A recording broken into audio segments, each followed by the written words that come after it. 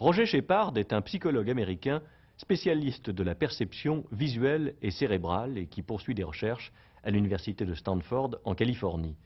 Son œil qui pense, paru aux éditions du Seuil, est de ces ouvrages scientifiques hautement jubilatoires, relativement accessibles au grand public. Son sous-titre, Vision, illusion, perception, donne le ton de cette chronique illustrée de l'illusion d'optique dont l'identification ne date pas d'hier. Le Parthénon a des piliers volontairement incurvés pour mieux paraître rectiligne et des peintres comme Vinci, Hogarth, Picasso, Escher, Magritte ont mis en évidence les anomalies qui altèrent notre vision. Shepard s'enchante un peu naïvement de la bonne blague que lui fit un copain en substituant un œuf dur au pommeau du changement de vitesse de sa voiture. C'est que nous ne voyons que ce que nous voulons voir. Un lapin ou un canard?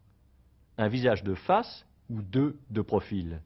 Un saxophoniste ou un portrait de femme?